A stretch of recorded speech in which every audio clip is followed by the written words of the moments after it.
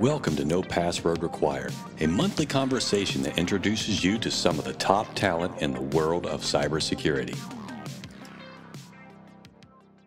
Hello and welcome to No Password Required, a podcast dedicated to exploring the minds and personalities that make up the field of cybersecurity. I'm your host, Ernie Ferraresso, and with me, as always, Jack Clabby, a cybersecurity attorney at Carlton Fields, PA, in Tampa. On the podcast today, we will chat with General Frank McKenzie, the executive director of the Global and National Security Institute at the University of South Florida and executive director of Cyber Florida. General McKenzie was promoted to the grade of general and assumed command of Central Command in March 2019. He relinquished command of CENTCOM and retired from the Marine Corps on April 1, 2022, after completing over 42 years of service. General McKenzie, we look forward to a great conversation. But first, hello to my co host, Jack Clabby. Jack, how are you, sir? I'm doing great today, Ernie. I'm doing great today. Everything okay with you? You know, not too bad. But I will tell you this, Jack. I am a little concerned about you. I, am I'm, uh, I'm not going to lie, because uh, uh, for those who don't know, ran into Jack this weekend, this past weekend, uh, at a sporting event, uh, and uh, you know, we said our pleasantries, hello, and then you know, we parted ways. A crowded event. Jack wanted to get in touch with me. So how does he do it? I'm telling you, he sends me an email to my work email. And so, Jack, I'm concerned that you, you are not paying attention to your proper work life balance. So That's for some reason, me. I didn't have I didn't have your mobile phone in my phone. I I think I had had it in my in my uh like I just not saved it to the same place. Where, it was in your burner I, phone. I get it. Yeah. You, you, know how those things grow. Yeah, exactly. Yeah, with with our with your background. So yeah. we're, we're um so I did the only way I could reach you was I thought, okay, I, I know his his email address. So I sent you an email trying to just locate you. And I would have thought, right, that you would have had your finger on the pulse of all cybersecurity goings ons and been ready, been ready to go there. But either way, a good day was had uh, out on the uh, out on the uh, the bypass canal, watching yes. some watching some rowing. Exactly, exactly. Which is great. And it's one of the, it's a great sport for kids because it's one of the few sports where you absolutely cannot have a digital device with you when you're out on the water. exactly. That's exactly correct. Exactly. Unless you got a heck of a good insurance plan, and yeah, you know, that's I'm not doing that. You're on a razor's edge of at any point. The any moment. Over. Any moment. Um, but that's one of the great rowing is one of the great Florida sports because we can be in the water, you know, and all the all the kids can be in the water uh, uh, 12 months out of the year, which is a, a ton of fun. And you know, it does. Um, it is something that we're going to be talking to the general today. That you know, I think uh, uh a lot of the military academies have, right? Because yeah. it does have sort of a martial history associated with it. Um, but we've been thinking, you know, thinking about the general coming today. I was thinking about what impact it can have on an organization when someone with with military leadership training comes into the organization, right? A lot of the workforce readiness program that's happening here in Florida is, you know, doing exactly mm-hmm. that, Ernie, where you're you're taking somebody with with military training, often military leadership training, putting them in the private or the public sector you know what are some of the things you know what are some of the challenges and benefits of of that from from your perspective? Yeah i would tell you part of uh, the thing that that i found i don't want to say difficult but most most interesting and and, and challenging is the, first off a lot of the mis uh, the misperceptions on what being in the military is like. So if you're coming into an organization you know people tend to have a uh, they, they they seem to think you're going to act a certain way uh, okay. that that you have a certain there's there's a certain you know movie esque way that you're going to do with it, uh, and then I also think on the other side that you also you know coming in from the military you're getting people oftentimes will tell you oh yeah well you're going to have to adapt to this. There's places people are going to tell you oh we're just not going to do that. And it's not and we, you can't tell me what to do. And so you, you as if uh, that's what you that's like the first thing you're going to do is you're going to just walk in here and say you go do this go pick up that and and uh, so it's it's kind of it's that when things come together it's trying okay. to uh, that that's where you start to you've got that first i'll call it a transition period when you're going into that new job so your first okay. job is really uh, challenging in that is, is bringing that together but what i what i do think ends up happening um, you know, for those that that uh, that are are successful and really, uh, you know, I'll call it leaping out into the into the private sector world is, identifying what are the um, uh, what are the really the, the, really good things or the applicable things that the, that the that being in the military provides. I think it's uh, perspective on a lot of things uh, because generally speaking, uh, in the military, a lot of the the areas where you're dealing with and the things that you're doing have uh, some pretty broad comp- consequences beyond uh, just I'll call it financial. Um, if you're if you're in the business community, you know, you, you, that type of thing. Uh, you know, if something doesn't go right, you bad things can happen to yeah. Uh, you know. So there, there there's that. So that kind of puts a lot of things into perspective. Kind of, you know, I talk uh, the way I think about it is, uh, you know, particularly in you know, in in in the field in where I am. It's uh, I like to remind people, okay, nothing that we do or don't do today is going to result in somebody dying. So you know they ca- kind of keep that yeah. in mind. But then also the uh, I think the, you're also exposed to, uh, especially as you get further along, a, a broad range of different situations and different uh, different styles and people. Uh, just because of the nature of it, if you do more than one assignment, you're moved around uh, basically at least every three years. So every three years, you're starting a new job. So you kind of have that experience of, okay, I'm going to someplace new. How do yeah. I start over? And I, that was one of the things that I, that was, uh, that I didn't realize was that was, was exactly that. Cause my sister started a new job uh, in, I guess a couple, couple, three years ago. And she was, you know, practically panicked about going to this new job. And I was like, I was like, what, what's the big deal? I mean, you just go and you do this. And, and then it dawned on me, this was the second time that she had done this and she's you know oh, she's in her 30s right? Yeah so that okay. that was that that side of it but i i think it's been uh there's a lot of good things but the, you know. I like that as a counterintuitive you know for for hiring folks out there thinking thinking that hiring someone from the military would be rigid that it's the opposite of that. Yeah. Because they they're forced adaptability that they you know if someone's been in the service for you know more than six years they've had at least two jobs and often yep. in two locations if not many more than that um, and that's I like that way of thinking about it. And that's yeah. something we've certainly see with our veterans uh, who work for us both as both as attorneys and, and as, as staff um, hires.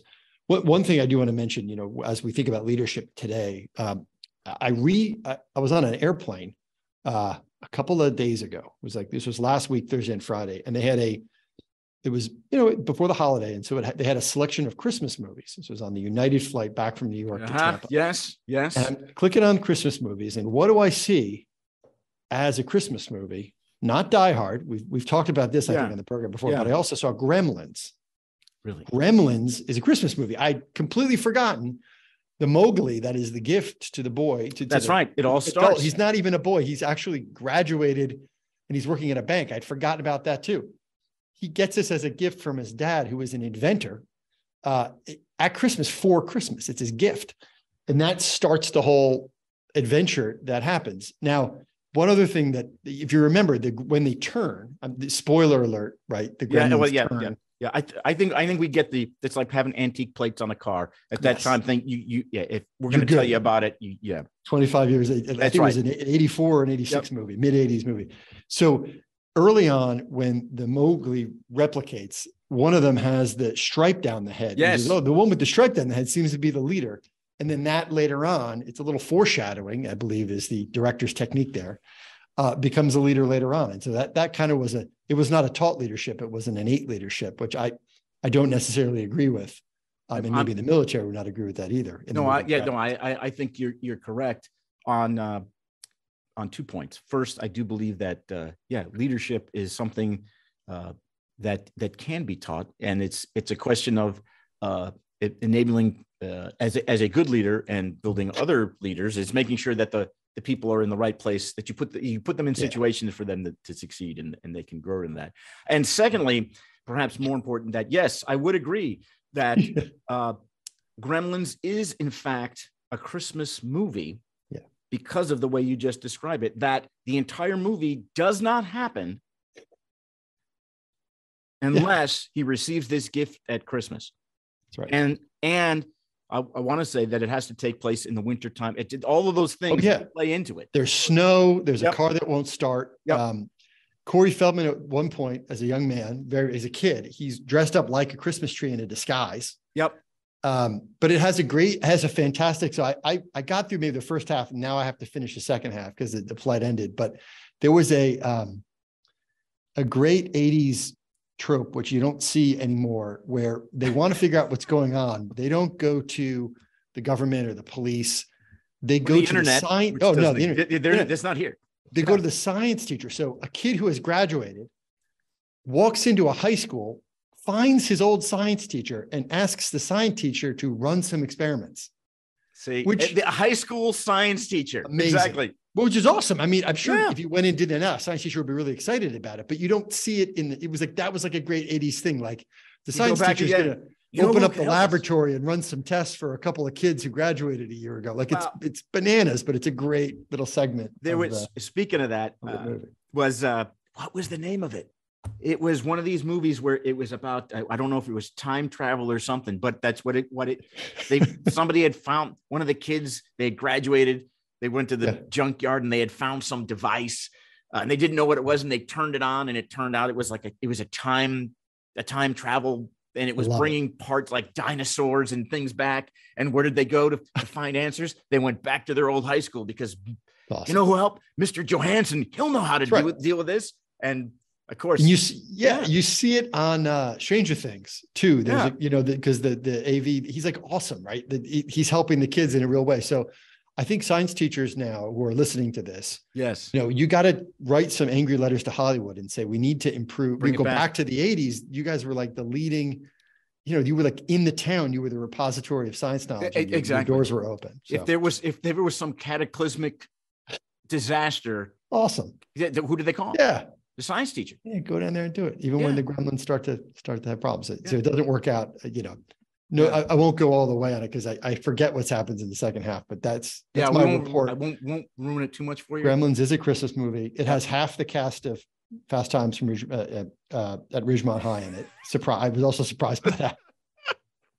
but a good one. Anyway, that's our that's our PSA for for movies to watch. We may have there you go gremlins for you put them on your holiday list right after uh right after christmas vacation. But tee up gremlins. And with that said we're going to take a quick break. And when we return we're going to talk to general frank mckenzie about his leadership style and how it's evolved over time. And we may delve into some uh, discussions about um i don't know 80s movies and such. So stick around. Looking for more no password required content? Follow us on Twitter, Instagram, Facebook, and LinkedIn at No Password Pod. All right, welcome back. Our guest is General Frank McKenzie, the executive director of the Global and National Security Institute and the executive director here at Cyber Florida. General McKenzie, welcome to No Password Required. Ernie, I'm delighted to be here, and I'm particularly glad that I don't need a password to be aboard. Excellent, excellent. but we do have other ways of verifying identity around here, but we'll get to that later on. Uh, General, can you tell us a little bit about your career path? I mean, it's familiar to to a lot of us, but maybe not to our listeners. And you know, how did you get started? And uh, you know, how did that path lead you to where you are now with your positions at USF and Cyber Florida? Sure. So I was very lucky to have uh, 42 years, 10 months, and three days on active duty in the United States Marine Corps. And when I started back in May of 1979, I had no idea that my career would last that long or that I would end up as a four star officer in command of United States Central Command. You know, I, I went into the Marine Corps because I, uh, I found it uh, to be a challenge. Um, you know, I'd always been interested in being a Marine, even before I went to the Citadel, the military college of South Carolina. Uh, I had a desire to, to, to, to pursue a commission in the Marine Corps. So that sort of stayed steady with me. Um, so I knew that I wanted to do that. I knew I wanted to be an infantry, an infantry officer. Uh, I knew I wanted to deploy. I knew I wanted to go forward. And, and, and so I, and really, I think after I got to the Citadel, the thing that further attracted me to the Marine Corps was the people. And if there's one theme really that's carried on and why you hang around an organization for over four decades, it's the people that you meet, men and the women that, uh, that are in the United States Marine Corps are fantastic. And so I've had the opportunity to be led by them and to lead them over the course of a very long and, and rewarding career, doing a lot of different things. I mean, I started off as an infantry officer. I was eventually trained to have another job as a tank officer, uh, a secondary, what we call a secondary military occupational specialty. And then over time, I began to work more in the strategy and the policy realm and introduced to that up in up in the national capital region up in DC where I was exposed to that so all of those things over time you know your career sort of flowers and uh, and luck and opportunity came together and I was able to stay around for a very long time. But I'll tell you, the, the day I left the Marine Corps, uh, I was just as energetic about being a Marine as the day I entered the Marine Corps. today, talking to you, I love the Marine Corps just as much and regard that experience just as rewarding as any day on active duty. Could not have been a better experience for me. How do you keep that up? Like, how do you maintain that? What's what drives that? Well, I, will tell you, part of it is, um, you know, you, you just you have, you have, designs on what you want to do. You know, what's the big picture? What do you want to do? I never, when I came in the Marine Corps, I never thought about about being a general or doing anything like that. I thought about being a good platoon commander, being a good company commander, doing as good as I could with the uh, with the jobs that I was given, and you know, and, and, and maximizing the opportunities for those people that work for me. So I sort of focused on that. And so what you do is you deal with the job that you got. You know, you don't worry about the things you can't control. What you do though is you, you in fact worry a lot about the things that you can control. That's what you want to, and, and so having knowing how to divide those two some things you can tilt at a will, you know, you can tilt against a windmill forever and it's not going to change. So you need to understand what those things are, and you need to you need to understand what are the things that you can have an effect on, and that's where you need to spend your energy. And over time, as you mature, your planning horizon goes out. You think to yourself, where do I want to be in five years? You know, what I want my what do I want my family to be doing in five years? And in the Marine Corps, what kind of job do I want to have in five years? And so over time, as you as you go a little older, you don't think about that as a brand new Marine lieutenant. But by the time you're a captain or a major, you begin to think about those things. And then so that's so how, how it sort of worked out for me. Over time, I think I matured, but I always tried to do the very best at the thing I was doing. And not worry again, not worry about the things you can't you can't influence or control. And how did you, um, General, how did you connect with USF? How did that process come about? So this is, you know, I've lived in Tampa three times. I lived in Tampa from 2010 to 2012 as the J5, the planner for U.S. Central Command. Came back in 2013, 2014 to be the uh, to be the commander of all Marine forces in the Middle East as a three-star job. Then, of course, I came back the third time in 2019 uh, to be the Central Command commander as a four-star officer. Over that period of time, I got to know uh, Rhea Law and we, we got to know each other socially. Great. We found that we enjoyed each other company, and I developed a great respect for her. And so as I as, as I began to look at what I was going to do after I left active duty, um, she talked to me about possibly coming up here and doing some work at USF. Uh, I didn't know a whole lot about USF except they beat Auburn, the team I follow in college football. I do remember that and uh, and I remember that they had some glory days in football in, in, the past, but I didn't know a whole lot more about USF. But I got to know Rhea real well, and uh, I, I got to tell you, I think the university has hit a home run with her as the president. She is a strong leader. She's not afraid to make decisions. She listens to input. She knows people, takes care of people, and you know, I keep coming back to the theme of people. It really is all about people. So she she we talked about doing something up here. I had an opportunity to do a little, investigation, and then when I did begin to work up here, I was just again impressed with the people. There's a lot of energy at USF. It's a new institution. It's not bound by ancient rules and laws of the past that affect some uh, institutions of higher learning, but it's focused on the future and it's not afraid to take risks and look bravely into the future. So, hey, that's an organization I want to be associated yeah. with. So it was a great fit. I, I look forward to coming to work every day up here. I got to tell you, the USF football is awesome, and a lot of people go to it. But one of the best kept secrets, if it's even a secret anymore in the Tampa Bay area, is USF basketball. Because yes. it's a great place to see a game, and they have outstanding competition and they have a good team. So, you know, I even went at times during the pandemic and just thought, you know, this is amazing when they would let us go. So it was just a really, a really special place and, a great place to to spend time. So, in all your roles, I mean, from the beginning um, as a lieutenant through to today, you've been leading people. Jenna, how would you describe your, your leadership style and has it changed um, over time? Well, sure. So it certainly has matured. What I did as a captain or lieutenant colonel is not how you how you behave as a as a as a as a general. Uh, you know, so when you're a young officer uh, commanding a rifle platoon or a rifle company, you got to be the best person in that unit at doing all the soldier skills. You got to you got to know how to break a weapon down. You got to know how to make operate that weapon. You got to be very you got to be strong, very physical. All those things you have to be able to do because the, the Marines down there they're looking at they're looking at you. So you got to do that. As you get older, and so you're and you're dealing with units of 30 Marines and 120, 150 Marines in a rifle company.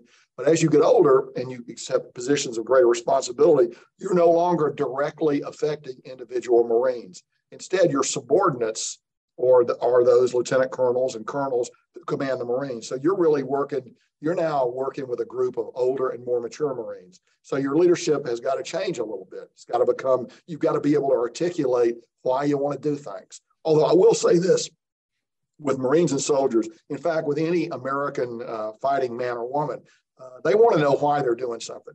Yeah. You can't just tell them to do it. That, and that's the strength of the United States.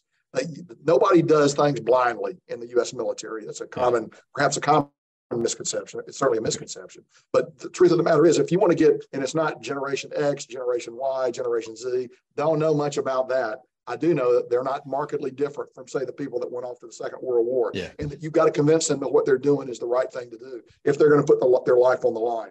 And what you as a commander have got to do is you've got to say, hey, we're going to go in, we're going to do this job. And what I promise you is I'll have the best possible plan to go in and do that job and to get as many of you back out as I can. And that's what a commander does. That's what he or she's primary responsibility. Now, here's the thing as General Jim Mattis used to say, we are not a life assurance corporation. So I can't promise you you're all going to come back. Oh, and that's not really why we're here.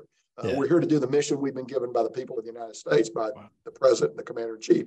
So if we're going to do that, uh, the commander's responsibility is again to have a plan, to ensure the plan is resourced, and then you got to sell the plan. It's, it's yeah. all about teaching and mentoring. People want to have confidence in the leader that he can actually get them into that and get them out. Everybody knows the odds, especially infantry Marines. They know they know the profession they're in, and they know the risks that are inherent to that profession. And so, nobody expects 100% of everybody to come back every time. What they want to know though is, you know, you're going to do the best possible job to get them in and get them out. And if and if someone gets hit and hurt, you're going to get them out. You're not going to leave anybody behind. People want to know that. They'll, they'll fight very hard if they know that because at the small unit level and even the larger level, people don't fight for the big thing. They don't fight for the flag. They fight for the people around them. They fight for that organization, their friends. And, and, and it's a very, it's, you know, pe- transactional leadership is, is, a, is a, gotten a bad connotation, but there is an element of transactional leadership there. You got to, you guys got to go forward and do this work. I'm going to give you the best possible plan to do this work, and I'll get you out. But you got to do what I tell you to do. That point that you made a moment ago too about needing to know why and how that's a strategic advantage we have right. with right. Americans fighting forces versus a lot of other, you know, non-democratic fighting forces. Right. I mean, that, that's a very good point that I think a lot of people don't understand. The, the heart of the soldier is the heart of the Marine, the airman, whatever. It's the unique thing in warfare. It's hard to calculate. That's why uh, the war in Ukraine is developing the way it is. The Ukrainians are fighting. They're fighting for their country. Russian conscripts are not fighting for anything and they have very poor leadership. So you got you've got no fighting spirit to begin with, and then you've got very very poor leadership. Their leaders are not doing the things I just described, which is to say, here's our plan. Let me share our plan with you so you know and understand yeah. it. And then here's how I'm going to supply you. Here's what we're going to do if we get into a pinch. You, the commanders have a responsibility to explain that. The Russian system has never been good at doing it, and it has been uniquely bad at doing it in this current campaign in Ukraine. That's something, you know, another point that you made about leadership is that there's, you know, at the initial level, you know, you need to know the job of everyone who's in that particular unit, right? You need to be, and you need to be right. proficient or not best at it. That's right. But it's, but at some point, if a leader is doing a good job, they're going to get promoted to a place where they do have people underneath them. And we think about cybersecurity leadership where you know, there might be a CISO who's really good at risk but doesn't necessarily understand computer programming at a granular level the same way somebody who's sitting on the systems and defending it is how should you know is there any advice for how a leader who finds sure. himself yeah so so you have as a, as a leader particularly a fairly senior leader you have to have trust in your people you have to and they have to they have to know that you trust them um, and there are a couple of ways to do that one way is this particularly in the military but i think it's actually true anywhere is uh, you've got to be the same way when they give you good information, that's when they give you bad information.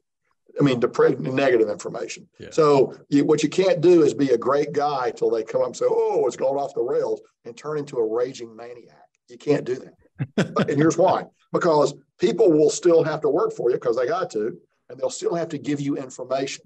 But what they will do, nobody likes to be, uh, you know, figuratively slapped in the face. Uh, so they will shade that information to try to avoid that. And what you as a leader, particularly in a technical domain like cyber or any one of a number of other domains, is you need accurate information. And so people have got to feel I can talk to the boss whether I got good news or bad news. Yeah. So what I used to tell people when I was on active duty was this.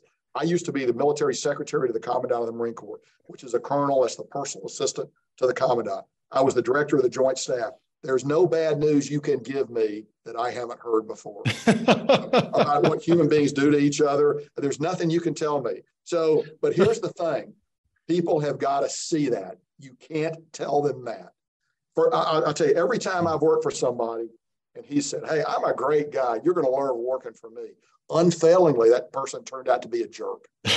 So, so I don't. So when I when I have a new organization, I don't say I'm a great guy. We're going to get along fine. I say, look, we're going to accomplish the mission here, but we're going to do it in a reasonable manner. And uh, I'm going to look out for your interests, but it has to be demonstrated. You, and all it takes is one one uh, you know getting off your rails once with people, and they remember it. So you've got to be you've got to have relentless personal discipline when it comes to organization. When it comes to organizational leadership. Does that you know, that's another sort of maybe misconception about military service, or maybe it's right that you know the leaders has to be up before everyone else and goes to bed after everyone else. Is that is that somewhat well, true? I'll tell you, that's true, and that's okay. really true of any organization actually.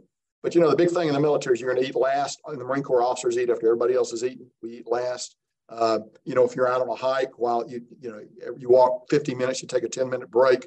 You sit down, change your socks leaders need to be walking up and down the column, checking other people's feet, making sure their feet are okay. Because in the infantry business, your feet are your means of moving. So it's a critical tool that you got to examine all the time, which means they don't get to check their own feet because they're checking other people's feet. So yeah, I, I, you expect and require leaders to do that. Now look, you get to be a four-star general. It's hard to do that because you're, you're removed from that, but you still need to find ways to signal it. And, and there, there are ways to do that. Uh, but yeah, it is it is important that, that people down in the you know on the floor working, they know and understand their leaders are working hard too, and that you know that is uh, I think it's very important, and I think that is that's often overlooked. And you know you can compensate people, you can pay people well, you can do, and those are important things. Yeah. But people also need to feel that their bosses are in it with them. I'm not going to have you come in on a weekend in an office environment if I'm not willing to do that too. That's right. It's something as simple right. as that, right? You're exactly right. Yeah. What, what I got to ask too, like, so for for all your successes in, in sort of your focus on this, what do you eat for breakfast? Do you, do you have like a special routine for breakfast that you get up the classic Clabby right there. That's it. Yeah, I want to know because I, you know, I, yeah, yeah. So, uh, you know, in a, when I was in command of Central Command, and uh, when I was working, and, and really now a little bit. I get up. What I'll do is I'll try to PT first thing. I'll run or I'll get get on the Peloton and do something like that, and then I'll fix myself a couple of eggs um, over easy, a, a low fat bagel, a thin thin bagel, and two pieces of turkey sausage. And that's what I eat for breakfast, and I do it every morning. And uh, that way, I don't have to think about it. Same way. Now, on the weekends, I might Marilyn and I might do something different. And yeah. I typically fix my wife breakfast when I'm doing that because she does all the other meals, but I'll typically do breakfast. Are you a coffee I, guy too? Or do you a coffee I'm guy? a coffee guy, but I'm a decaf coffee guy. Okay. Went off caffeinated coffee about, I go on and off, but I've been off decaf coffee. I've been off caffeinated coffee for about two and a half years now. And uh, I drink a lot of coffee. I like the taste of coffee, yeah. but I try to drink decaf coffee. And I don't drink any soft drinks at all. And uh, okay. But off that, I've been off soft drinks for probably 10 years. And uh, but I, but I, that's my routine in the morning. And while I'm eating, I read. And okay. morning routine is uh, I read the uh, read the Washington Post, I read the Wall Street Journal, I read the New York Times, I read the Tampa Bay Times. Um, I used to read USA Today. I, I, I, dip in and out of that. I read Financial Times, all electronically. Everything's electronic. Oh wow! Read all those. I try to read all those journals every day, and then every week I read uh, The Economist which is the best news magazine in the world and maybe the best magazine in the world. Yeah. And then the second best magazine in the world is the New Yorker. And I read the New Yorker religiously. Um, I read Harper's every month. I read the Atlantic every month. Um, wow. And the magazine I just stopped because I've I've had I had a subscription since high school is Rolling Stone. I followed. I've read Rolling Stone through good times and bad. That's awesome. And I tell you, it's just moved beyond its roots so much now yeah. that it's not worth it. I, even the music articles have they're like written by aliens.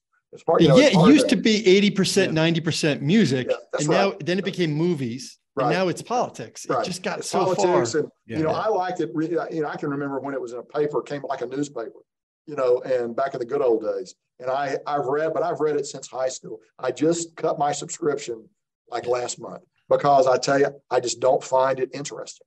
Yeah. And I and I, have got a limit. Uh, the big, the, you know, the big thing about being a senior leader in any organization is it's time. What do you do with your time? Yeah. Because you can you can change any resource you have except time. That's the one thing that affects us all equally. You know, money, all kinds of other things. You can add more, you can take it away, but what you can't do is you can't modify time. And so I'm very conscious of how I spend my time.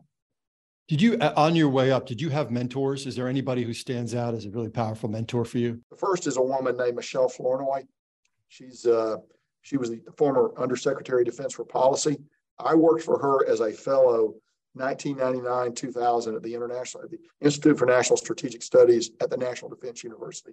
And she was, uh, and what we did was she got a small group of people together to take a look at the Quadrennial Defense Review. We don't do it anymore, but it used to be a four year study of, uh, of the state of the military, made recommendations. It was a pretty big deal several years ago. And so she, uh, I was exposed to her for 18 months. And I, I would tell you, she was brilliant and uh, demanding, a strong leader. And a, a, lot of my views about higher level policy strategy were directly informed by my interaction with her. Oh, wow. So she's been very, very, very formative uh, in my in my in my career outside the Marine Corps. And, and we we stay in touch to this day. And uh, she's just a, she's just a wonderful person. I can't say enough good things about Michelle. So she's she's been very important to me. Look, inside the Marine Corps, there are a number of uh, you know a number of Marine generals, colonels, too many to name here, yeah. all of whom that that uh, you know took me under their wing, shared shared stuff with me, and and mentoring is a very important part of being an officer. You know, people know you know, just a fact. People know who who your mentors are. They know, uh, you know, they sort of know your track record as a result of that. So it's an important thing. We need to do better at that in the Marine Corps and across all the services, actually, and making that more available to everybody, not just people that look like me, but uh, you know, but to yeah. but but to women, uh, to yeah. other minorities. And my service, the Marine Corps, has struggled with that. We don't have it solved, but I can tell you this: they do recognize it's a problem, and yeah. I and I've taken I've one of the things I've been very conscious of doing when I mentor people is I'm looking for I'm looking to, to be very broad and diverse in my approach to that. Yeah. Is, is there like um, another thing too? Like sometimes you hear about leaders in business community or or in government might say, you know, I really want to stay in touch with people, but I'm too busy. I lose track, right? But you know, no one's busier than a general. I mean, no one's yeah. busier than you, right? How did you, over the years, how did you stay in touch with people? Do you, do you do phone calls? Do you try to see them? How do you stay in touch? So email actually helps a lot. Okay. Email, um, you know, I do Facebook, but I do Facebook actually very narrowly, mainly family. Okay. Once I retired, I've gotten into LinkedIn. And okay. I never did LinkedIn on active duty. There were reasons why I didn't do that. Yeah. But now that I'm retired, I'm actually pretty, I'm a lot more open to contacts on LinkedIn than I am on Facebook. But, you know, I, will tell you, I, I, um, try to stay in touch with phone calls, messages, not letters so much anymore, yeah. uh, with a couple of exceptions. Uh, I, you know, and I would tell you that's something I need to do better at. Okay. I need to do better, but I, I will always tell people, you know, shoot me an email. And I, have never, I never, you know, mind getting an email from somebody. It may take me a while to answer it, and uh, but I'll try to do that. But it's, you're right. You hit on a key thing. It's important to stay in touch. It's very important to do that. I heard about a concept the other day called email bankruptcy, which is the idea that I'm just going to write an email to all my contacts saying, I'm very sorry. I've been busy. I haven't written you guys back. Please don't be offended. I'm declaring email bankruptcy. If you want my attention, all new emails from this day forward, I will starting do my now. best to respond to. We're starting new right here. This is starting fresh. I'm doing it. Email bankruptcy. Well, you know, well, that's a thought. I'm going to file that one away. that's a yeah. That's a good tip. Um, but you you had a master's degree in teaching. I think yeah. that's something that I think was surprising when we saw about you. How have you used that in your career? Okay, so um, yeah. when I was a young captain, um, lieutenant captain, I actually was assigned to Marine Barracks Charleston. It doesn't exist anymore. It used to be a naval weapons station there, a big Navy base, nuclear submarine base, and the Marine Corps provided security for it. After my first overseas assignment in Okinawa, I came back. So I was in Charleston, lived there for three years as a, as a second lieutenant, first lieutenant, and a brand new captain. And so I had the opportunity to go back to school at night, and the Citadel's there. Oh, wow. Obviously. And so the yeah. Citadel has a night program that's unrelated to the Corps cadets and all the military stuff. It just, what it does is it principally served, you know, the local community for teachers that wanted to get, you know, that wanted to pursue degrees. So at the time, this is 19, early 1980s, the only master's program they had was an MAT, a Master of Arts in Teaching. So I was there. I wanted to get a master's degree. So I got into that That's program awesome. at night. The concentration's in history, but I never regretted that. Um, and so I went on and actually my next assignment, to get this right, my next assignment after, well, two assignments down the road, I was at the Virginia Military Institute and I was able to teach there and uh, actually won the junior professor teaching award, the Thomas oh, Jefferson wow. Teaching Award. And I, I, enjoy teaching. I enjoy being in the classroom. I enjoy, I, again, it's just, it goes back, it's a central theme. I like being around people. I like talking to people. And, uh, and it was very, that was another very rewarding experience at, at the Virginia Military Institute. Wow. And that's a big, big part of teaching at the higher education level is not just learning how to teach, but also learning how other people learn. That's correct. You, you have to be you have to be sensitive to different learning styles. And you know it'll be obvious to you. Some people are visual learners. Some people have to listen. Some people need to read. Um, you know and some for some it's a combination of all three. And uh, but you're right. You have to be you have to be sensitive to that. So you know you spend three years teaching undergraduates at the freshman or sophomore level and you, you gain an appreciation for that and i and it, it was very helpful to me also to be back around young people even younger people than many marines during that period of time. And from 88 to 1991, that's what I did. I also coached football there, and that was very rewarding also. you think about too, like how many football coaches, you know, high schools or, or colleges across the country, at least before the professionalization of that, were teachers who were also football coaches, right? so coaching football, coaching football is teaching.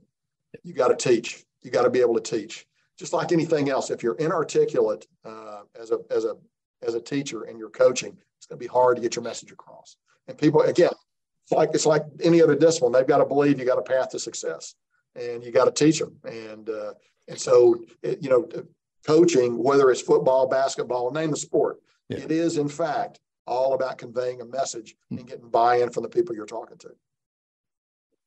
Do you have a professional football team that you that you root for? So I'm a big Bucks fan. Okay. I'm a recovering Washington football team. Washington.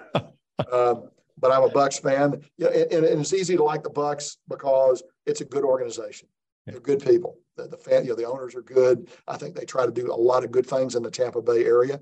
Uh, you know, and of course, you know they're they're they're winning. They were last year. We'll see what they do this year. Uh, but I think, uh, but I think it's just a good organization. So it's an easy, you know, it's an easy professional team to follow. And so I really uh, grew up in Alabama. So professional football is not a big thing in the state of Alabama. Well, it is, except it's college professional football. And, uh, and so, you know, in Alabama, you're either an Auburn or an Alabama person. So okay. My family are Auburn people. And, uh, but, but the state of Alabama has never really been penetrated by loyalties to external professional football teams. Atlanta never was a big factor in Alabama, and St. and, and New Orleans has New never Orleans, been a big yeah. It's not because you got Auburn, Alabama there, and other teams now as well, such as the University of Alabama Birmingham if you knowing all you know about leadership and having coached football can you like when you're watching a football game now can you relax or are you on thinking about what you would do thinking about how you would change tactics so i, I just i like to watch the technical game given a choice i'd watch the 22 man view you know I'm talking about? Yep, where they zoom out. You see, yeah. I hate it when they zoom down. You can't see what the free safety's doing, what the quarterback's doing. So I like watching that. I like listening to the technical side of it. I can take or leave the commentary you yeah. know, from the uh, from the broadcasters. I mean, I get emotional about Auburn football when they play because I have much of my life's been associated with following them for good or bad. I'm a lot more um, I'm a lot more uh, clinical or detached with professional football because the game is different. I mean, college football is a game of mismatch, uh, big mismatch where you've got to be artistic and find a way to compensate for market inferiority professional football, it is a game of mismatch as well. Yeah. But the nuance, but the degree of mismatch is so infinitesimally small that it's uh, that it's unless and, and here's the other thing: unless you spend time looking at video, it's hard to know why a coach does what he does. So when yeah. people criticize coaches, I'm always sensitive to the fact that they put hundreds of hours of study in to make that decision. Doesn't mean it wasn't still a mistake, but you know, they looked at it as a reason because what you don't want to do is come up with it on the sideline. You know, you've thought about it all week. You know yeah. what you want to do in this situation, so you call the play and run it. Yeah. And they're not getting like the idea that they're, I love the idea of the armchair, you know, guy washing at home who say, oh, they, what is obvious? They should have been in a cover two. Yeah. Yeah. That's right.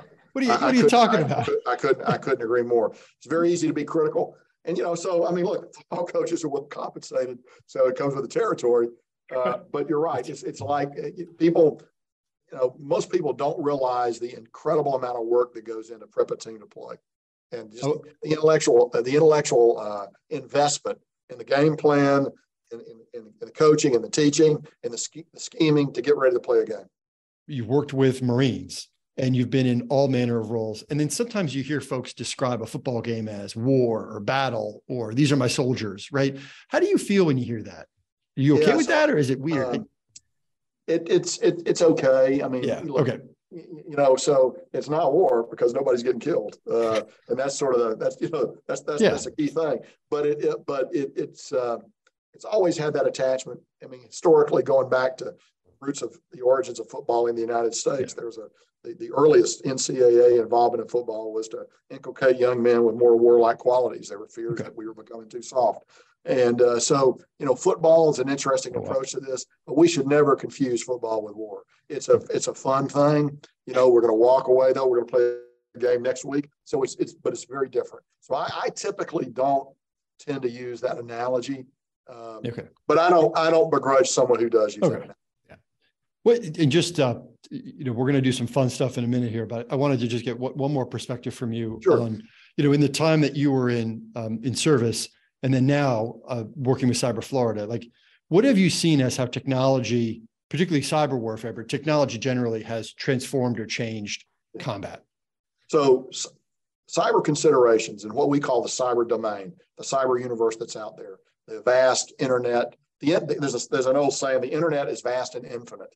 And the internet is vast and infinite because the internet maps the human, maps the human terrain, and it is practically infinite. So from when I came in the Marine Corps in 1979 uh, until now, it has revolutionized everything. As a, as a combatant commander, when I thought about anything, I began by thinking about cyber. Cyber is an element of our plan. Cyber is an element of the potential enemy's plan, how it could affect us how we might want to affect them, the merging of cyber effects, which is what things happen, things that happen on the battlefield, cyber effects, kinetic, non-kinetic effects, all of those things. It has revolutionized warfare, and we are in that revolution is continuing. We have not yet seen the final thing. I'll put it in perspective like this: there are two new domains that we study in the military: space and cyber. Okay, so I believe cyber is actually more demanding and more infinite than space. Hmm. People would disagree with me on that, but that's just my opinion. Space, at least for right now, we're talking, you know, low Earth orbit, high Earth orbit, geosynchronous orbit, cislunar space, all of that. That's that's a problem. But but the the cyber is actually, I believe, more difficult to quantify and understand. Yeah, we're going to be using cybersecurity resources to communicate with any sort of satellites or or uh, that's right and the, you're right the two and the two domains are linked the united states is absolutely without our satellite constellation we would be to, to use a fr- in the hurt locker. We got to have the satellite constellation and we are very vulnerable. The united states has the most powerful offensive cyber capabilities in the world. What we can do is eye-watering. We also have a glass jaw. We are the most vulnerable society in the world to cyber attack because of the ubiquity of the systems in the United States, because everything, everything runs off that backbone. Everything. And it's open and it's not, you know, there are no really good national policies. So that's an issue. And, and that's why that's why the work is so interesting at Cyber Florida. That's right. You think about you know, the power goes out in the Tampa Bay region and people's watches stop working. You know, right. whatever happened to a, you know, right. you have a wind up watch and now everybody's That's got right. a watch that needs to get recharged. You're like, you have to have a working watch, guys. Come on, let's think about redundancy. But we should be, we should be very concerned about that. Yeah, for sure. Well, um, thank you very much. We're going to take a short break now. And when we return, we'll have Ernie's lifestyle polygraph. So stay with us. You're listening to the No Password Required podcast. We cover cybersecurity and a lot of other stuff. Okay, welcome back. General McKenzie, as you may be aware, the lifestyle polygraph is issued to members of the intelligence community to determine their suitability to have access to some of the nation's greatest secrets. However, here on No Password Required, we have our own version of it, uh, mostly so that we can uh, just find out what people uh, what what makes people tick. So we've got a series of questions, five questions um, that are going to uh, kind of you know you, you, talked a lot about uh, you know how you got where you are and who's influenced you and uh, and your thinking, but we're gonna we're gonna dive in a little bit deeper now. So, sir, are you ready for the lifestyle polygraph? I'm ready, Aaron. Go ahead. Start your questions. Go. Question number one. Question number one what is something that you already miss about military life? I think what I miss the most about military life, um, in the latter part of my career anyway, is the uh, your mainlining knowledge. Mm. You're, you're fed with the best information in the world all day. Um, you know just about everything going on, uh, and so you have a very good sense of what's going on behind the headlines um, all, everywhere in the world. And that that actually is addictive. It's profoundly addictive. And uh, and so when you leave, well, for a guy like me, around mid afternoon on the last day of March, it cut uh, or one April, it cut off, and that went away. Yeah, they cold wow. turkey you. So now now I'm reading The Economist, and uh, which is a which is a very good magazine. But you know, I'm not reading the PD, the uh, President's Daily uh, Briefing anymore and all the other things that really sort of give you, uh, you know, behind the behind the curtain. I miss that. Um, uh, you know, and, and, the other thing I would just say, and I miss the people uh, more pr- probably deeply. Just you know, you're always you're always in a group of people that you work with. You feel that you're working toward a common and important goal, a good goal, a noble goal, and you sort of miss that. And that that's probably the biggest thing. And so you, you sort of wander around a little bit and uh, because it, it's very sudden, it's abrupt. Because when you're a combatant commander, you go from 100 percent to zero percent wow. in the course of an afternoon, and so that's that's a pretty significant change. What, it, it's a silly point, but like, what about uniform? Like, you didn't, you know, if you're wearing a uniform and you're on service, you don't have to worry about what to wear in the morning. Did you have to go buy a bunch of clothes? No. So by the time you're a uh, a COCOM and you know, I, I, got I got no shortage of civilian clothes. All right. Uh, that you know that's a great point. But but it is you know so you do have to you have to decide you know what you're going to wear to work every day which was never a problem before. But actually most most guys that retire about what i have i mean you you're, you're yeah. you know you have tons of clothes so picking something not, i mean having it's not a problem. Picking it is but luckily i've got my wife who advises me pretty aggressively on what i need to wear. Well, and i got to tell you sir you it, you've been a pretty snappy dresser. I got to tell you, you, you know, you're not uh, you're not hurting in that space. I mean, that's that's pretty good. Well, it's not me; it's my wife. my wife only has veto power. It's only that she's not helpful. She doesn't help me. It's only telling me what I can't. Uh, and, hey, you and, can't go out the door looking like that. And I think most days, Jack, you just walk. You, you try to sneak out ahead of that. That uh, that's that why I get up early. It's not personal motivation. It's the way I can escape the uh, without having to be told with the when I worked for the government, I wore a suit every day. I just had five suits and you just rotated and it was easy. White shirt, five suits, you're good. And then when I left, someone told me about business casual and I was like, wait a minute, what? I have to buy khakis now? What is this about? so I just bought five pairs of pants, five new shirts. It's good to go. So just repeated it. okay, here we are. Question number two. Question number two, moving on. What is your favorite board game? So my favorite board game is going to be hard to actually describe because my my primary hobby is the collection of war games from the 70s, 80s, and beyond. So I've got a collection of several hundred games, um, including uh, some of you may recall a company named Avalon Hill. Absolutely. Put out a lot of games. Yes, Simulations sir. Publications Incorporated that put out a lot of games. GDW, on and on. I can name the alphabet soup of game uh, producers that, that, that made these games. So I, I have a lot of uh, I have a lot of games, and I would say this: it would be a uh, it would be a conflict simulation game. It wouldn't be a game like Monopoly, which is a perfectly fine game, or, or Risk, or something like that. Uh, but but it's a good game. I will tell you a game that sort of catches my attention. It's hard to play because it's hard to get everybody together. Is a game called Diplomacy. Oh, diplomacy. That was a great one. We did uh, that one and uh, uh, Kingmaker was the other one that Kingmaker is very good too. The yeah. War of the Roses. Uh, yeah. The, the, I put I put Kingmaker in there as well. Good games. I enjoy them. You know, the, the, the problem is for it's hard to find somebody to play them. And really, for diplomacy, you need five people. And uh, there have been some there's been some computer simulations out there that have tried to work diplomacy not very well. It really is something best played, you know, sort of person to person. But I I, I enjoy games. Uh, I collect them. I don't get much of a chance to play them now. Now, is that game? Uh, is that the one you're uh, when you play you're most competitive with? Is that? Uh... I was pretty good at it. Yeah, I was pretty good at it. It requires, you know, it requires ability to read people, know and understand people, because you know, diplomacy is. Uh, there's not a lot of chance in diplomacy. It really is relationships among the, among the players of the game that you sort of negotiate. What was the other one? Oh, air assault on Crete. That was That's the other game. with the uh, with, with, the with the Malta uh, option as that's well. Right with the Malta with the Malta add-on at the yes. back end of that. Yeah, that's a very good game. That's yeah. a very good game. Yeah. A lot of a lot of good games, and that that of course is a game from the '70s, late '70s, yep. uh, which was sort of the heyday of board wargaming, and then it fell off in the '80s, '90s, and it's in a renaissance now. As yeah. we speak right now, there are a number of very good publishers out there that are making very good war games. The problem is the games today tend to be highly complex, yeah. much more complex than the games of the 70s and 80s. You know, 100 to 200 page rule books. So it's, it's quite an effort. If you want to you want to get into one of those games, you got to invest the, the time uh, to, to learn the system. It's something where like um, Kickstarter has really helped with that because it, you, if you have a cool idea, you can yes. take in. You don't need a lot, right? Just take enough to just put together a couple prototypes, right. and then and you can give them out. So it's kind of neat to see. I mean, that even that section of like a main, like a store like Target has gotten bigger.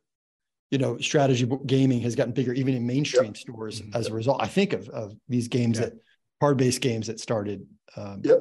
Through, yep. through, crowdfunding. No, no, you're right. And, the, and the for the company, the, the, big game companies like GMT today or MMP, the runs of games are fairly small. So because they've learned the hard way from SPI, which made a lot of games and couldn't sell them, even though they sold a lot of games, they sort of killed themselves with their business model.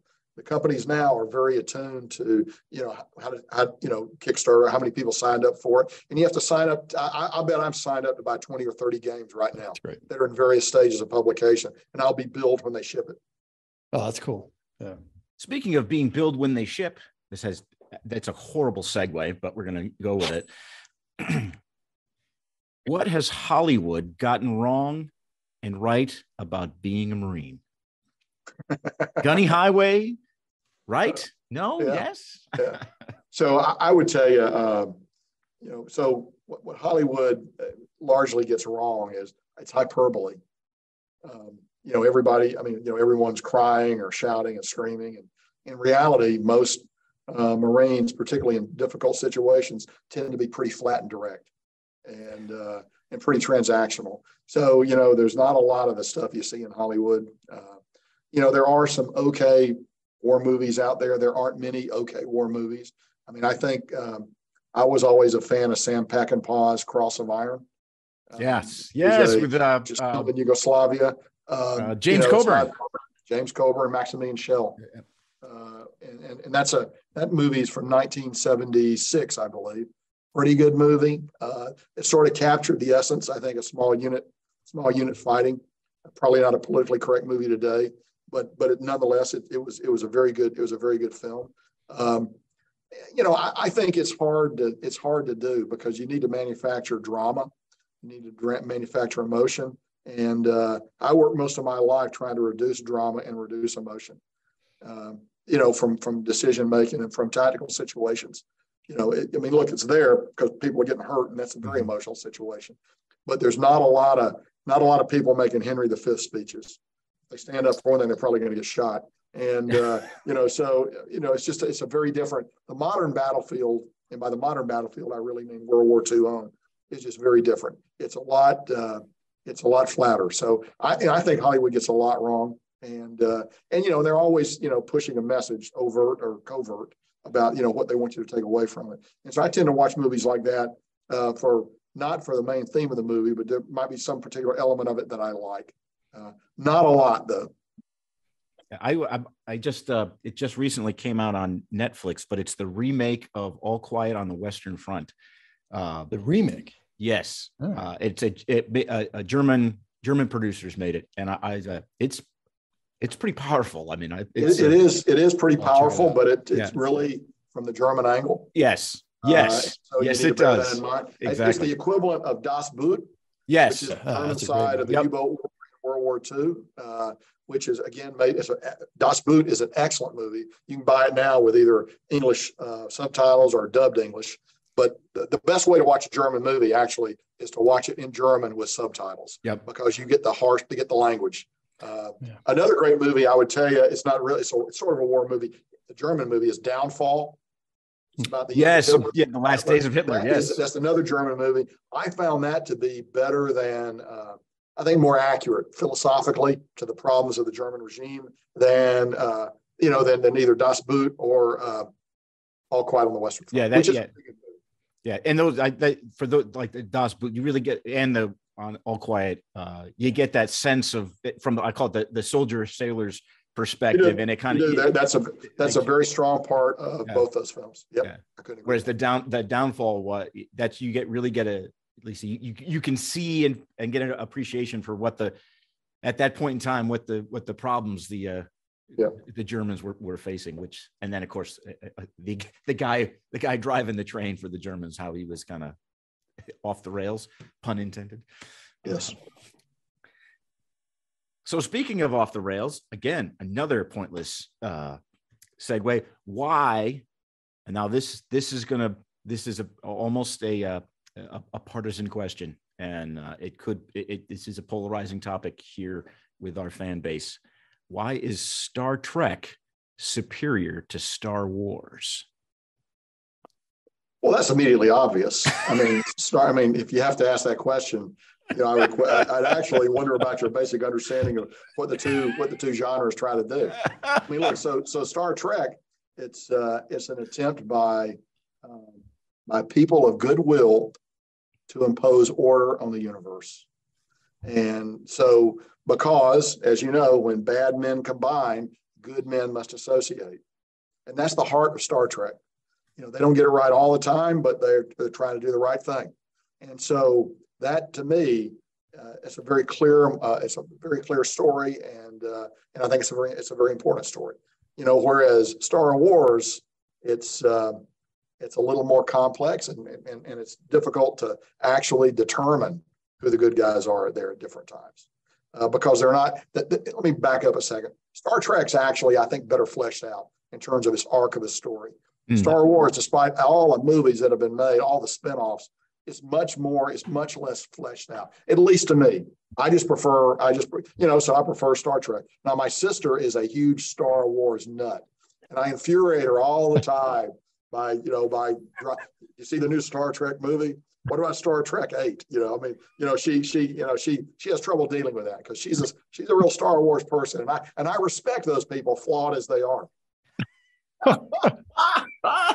there was there was also like uh Star Wars has which I love you know I love both of them and I Yeah. but Star Trek was trying to do something was trying to make a point a political point right and Star Yeah. Wars was fun, was supposed to be fun and then they've gone back and tried to make it as if it had a point right That's right. Yeah. the That's one is one had a perspective and the other didn't and Star Wars ultimately like it's about certain people are just gifted with this with with the, ability the to- force, yeah. and it's like yeah. becomes like a genetic Right. thing almost like That's right. what is everybody supposed to do? And uh, whereas Star Trek was about Plus, good I you, bureaucracy. the- Yeah, yeah. the standard the standard of small arms shooting by the empire in star wars i mean Yeah. truly is horrific I Yeah, mean, it's almost like the guys can 18. never hit anything all these guys the imperial stormtroopers they can't do anything right plus the, the, the imperial space building program the death star holy cow they can never get that thing together they're always behind budget and it's very vulnerable i mean you would think uh, you know for an empire that builds those star destroyers they would have figured out that maybe the death star is not the way to go at least but they did it twice. let's get it. Let's get it finished before we rush it off into combat. Right. So I, I, I question their basic space building plan, the concepts behind it. You know, the empire just never seems to learn. Yeah, the, the idea yeah, their bureaucracy was poor because they were not investing in good like middle management training. That's correct. Right. That's right. That's we're right. not. And we're Vader, not you know, if he sees somebody he doesn't like, he chokes the guy to death. So yeah, that's really gonna that really motivates you know feel great officers. Well, right. Talk right. about It- overreacting to bad news. It- that's exactly Yeah, correct. It's a classic example. Yeah. Now, all those guys, you know, they, they kill the guy that brings them bad news. Well, that's not gonna that's not gonna make them bring it the right news. It's gonna make them try to cover it up. Kirk would probably say, yeah, I, I got to think of an instance where he did it, but he probably would have said, thank you for bringing this to me. This gives us enough time Right. to come up with a solution. I don't I appreciate don't remember James T. Kirk killing anybody on the bridge because they gave him bad news. Okay, I'm just saying. No, I, but he would say something to the effect of, "I'm responsible for the lives of 325 members." His of my only crew." problem, we were, we were watching this the other day was, I don't know if it was one or two, but his only problem was he, in the movies, I don't know if the show less, but he was always put himself on the away team. Yeah, Yeah, the that's right. captain. Yeah, Stop putting yeah, yourself on the away team. Like there are others, you might be good in Well, combat. what you didn't want to do, what, what you didn't want to do was to be one of the security guys that went down on the away team because Exactly. they Yeah, infallibly died uh, exa- well, exactly. every time. Yeah. Every time they got killed, they got killed. The- Yeah, the only so the guy. real question, Ernie, and I'm surprised you didn't ask it, is it Star Trek or Picard in the new Star Trek? Yeah, That's the real I- question. And so again, everyone knows it's the old Star Trek. The It's not the new Star Trek. The new Star Trek is nothing but a combination, but a great bundle of weakness. a great bundle of weakness. Wow. Right.